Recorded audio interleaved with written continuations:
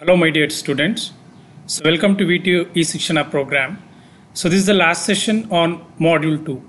So, in previous session, we had discussed about working principle of centrifugal pump and working principle of reciprocating pump. So, in lesson 7, uh, we'll be discussing about uh, a comparison between centrifugal pump and reciprocating pump and factors to be uh, kept in mind while selecting a pump.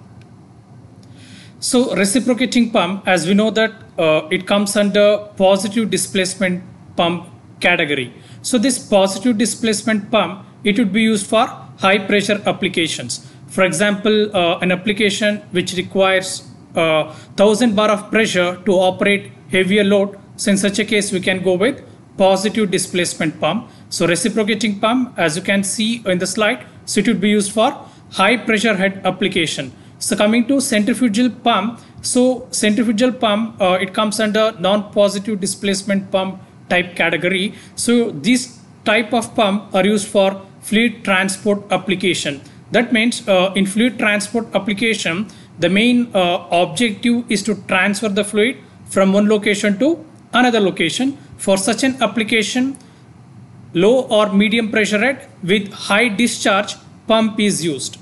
So next, reciprocating pump, uh, here uh, the discharge will be less. So in the case of uh, uh, centrifugal pump, the discharge or flow rate is the primary consideration. So reciprocating pump, so it uh, requires a pressure relief valve. That means uh, since this pump will be operating under a very high pressure, so in such a case, if the pressure in the system exceeds the safer pressure, in such a case, the excess pressure has to be uh, relieved out of the system. So for uh, uh, reciprocating pump, if it is used in high pressure application, then pressure relief valve is a primary requirement. So in the case of centrifugal pump, so uh, uh, it, it is used for high discharge application or high flow rate application where uh, pressure will be less that means it will be less than uh, 20 bar. since such a case, a pressure relief valve is not the primary concern. So reciprocating pump, as we know that, so it sucks up small amount of fluid and compresses it and delivers it into discharge line. So that's why it comes under the category of positive displacement pump. So here, reciprocating pump produces intermittent flow or a pulsating flow. So centrifugal pump, so it produces a continuous flow. So it lifts the water or it transfers the water from one point to another point. So next reciprocating pump, since there is less clearance between a rotating part and then a casing, so here there is no uh, uh, priming required. So in the case of centrifugal pump, uh, if it is have uh, if it is having negative suction head, so in such a case, uh, the impeller has to be supplied with a sufficient amount of water. So here priming is required. So reciprocating pump, it has a cylinder, a piston, and then a piston rod. So it requires a more space. In the case of centrifugal pump, so in order, uh, it can be mounted in a very less space compared to a reciprocating pump. So the initial cost of reciprocating pump, it would be high. So as I mentioned, uh, the clearance will be less. There is, there is a tight uh, uh uh, clearance between the rotating part and then uh, outer body. So here uh, the cost will be high. The fabrication cost or initial cost of reciprocating pump will be high. So centrifugal pump, uh, the initial cost will be less compared to uh, reciprocating pump. So that's why uh, when we go to a purchase, when we go to uh, outlets to purchase centrifugal pump. So for a domestic application, so you can obtain the centrifugal pump of 0.5 HP power or 1 HP power within uh, 5000 or 6000. So in reciprocating pump, uh, uh we need higher maintenance. So in the case of centrifugal pump, so lower maintenance is sufficient. So centrifugal pump, so it can uh, a pump a wide variety of fluids. That means a fluid uh, which contains a solid particles in it. So for example, a slurry. So in mining applications, so a slurry has to be uh, transferred from uh, uh one location to another location. So in such a case, centrifugal pump uh, fits in. So reciprocating pump, so it requires uh, a very clean and clear fluids. So in reciprocating pump, we'll make use of hydraulic oils or petroleum based uh, oils. So this is about uh, a comparison between a reciprocating pump and centrifugal pump. So reciprocating pump, uh, to summarize, the reciprocating pump is used for high pressure application. Centrifugal pump is used for high discharge applications. So coming to a specifications of hydraulic pump. So for a particular application, we may need an hydraulic pump. So that application may be requiring uh, high pressure or high discharge. So depending on that requirement, we need to choose uh, a particular type of pump. So here we have listed out a few uh, few factors which needs to be considered before buying an hydraulic pump. So first, the type of the pump. So as I mentioned, so depending on the application, so depending on the load to be uh, operated, so we need to choose a particular type of pump. In positive displacement pump itself, again, there are uh, various types like a gear piston, uh, gear gear pump, so vane pump and piston pump. So in centrifugal, uh, that non-positive displacement type will be having a centrifugal pump and an axial flow pump. So depending on uh, the application, like whether it is a, a, fluid power application or fluid transport application, so uh, depending on that requirement, we're going to select a particular type of pump. And then uh, the pump will going to handle the working medium or working fluid. So depending on that, uh, we need to choose a particular type of pump. Like uh, if you want to uh, if you want to pump a fluid containing uh, a solid particles, so in such a case, uh, positive displacement pump is not the best option.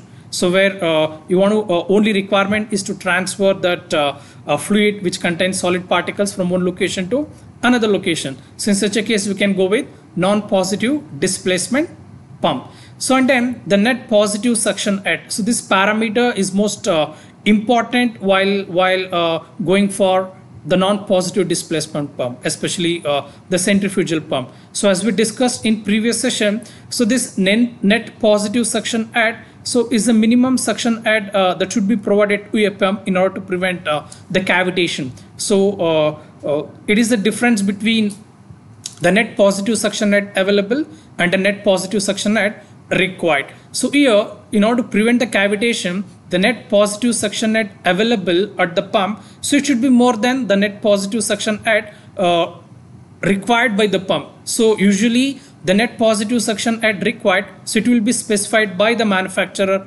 itself. So and then uh, we need to go for uh, whether we are selecting this pump for uh, the pressure application or a discharge application. So both parameters uh, matters a lot. So that is a discharge pressure as well as a flow rate. And then the pump speed. So we know that the flow rate is dependent on the pump speed. So here the pump will be driven by other prime movers. So in the case of centrifugal pump, so we do use uh, a motor to drive the pump. So here the flow rate of the pump, it depends on the drive speed of the motor. So that has to be considered. So next head. So head is nothing but a pressure energy. So head is the vertical height uh, to which uh, the fluid has to be lifted up. So depending on that, uh, we can choose uh, a particular type of a pump. Especially uh, this pressure head is most important uh, in the case of a centrifugal pump as well as in the case of reciprocating pump. So coming to efficiency, so normally uh, the efficiency of a centrifugal pump is less than that of uh, efficiency of uh, uh reciprocating pump. Since uh, the leakage in the case of reciprocating pump, it would be very less. The volumetric efficiency will be more in the case of reciprocating pump. So uh, the efficiency, we know that it's an output by input. So in the case of an hydraulic pump, the output is nothing but an hydraulic energy. So it may be a pressure or a flow rate. So in the case of positive displacement pump, the discharge uh, or, or output power is the discharge pressure. So in the case of centrifugal pump, the output power is the discharge or flow rate. So in addition to all these factors, so we need to consider the power drive or uh, so as I mentioned, uh, uh, we do make use of uh, the electrical motor to drive the pump or we can go with uh, an, uh, heat engine to drive the pump or we can make use of other uh, sources for driving the pump. So next, uh, mounting. So whether the pump, uh, uh, depending on the requirement, so it has to be mounted either in vertical direction or in horizontal direction. So that mounting has to be taken into a consideration while choosing an hydraulic pump. So and then the weight of the pump and then uh, the size of the pump. Since uh, uh, so for example, in the case of fluid fluid power applications, so we'll be having a very uh, uh, a less space. So within which we need to uh, we need to house that entire power pack. So in such a case, this pump size factor is most important. So how much space is required for housing this pump that has to be taken into consideration. So this is about uh, the factors which needs to be considered before uh, uh, selecting an hydraulic pump. So this completes uh, module 2.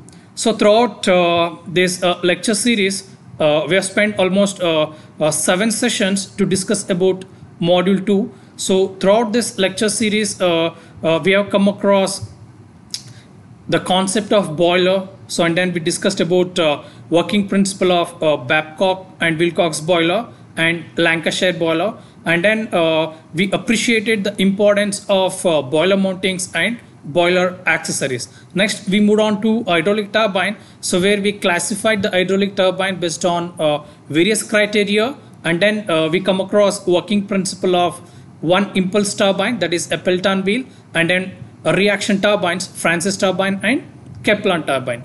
So in last uh, two sessions, we discussed about uh, uh, hydraulic pump. So and how uh, the pump will be used for a particular application and then uh, how we can categorize the pump based on various criteria and then we discussed about working principle of reciprocating pump and centrifugal pump so in this session uh, we have discussed about uh, uh the factors to be considered before selecting a pump and a comparison between reciprocating pump and centrifugal pump so for this uh, a presentation, uh, I have gone through uh, various references. So these are some of the references which I have gone through to prepare the content as well as to deliver the content. So thank you.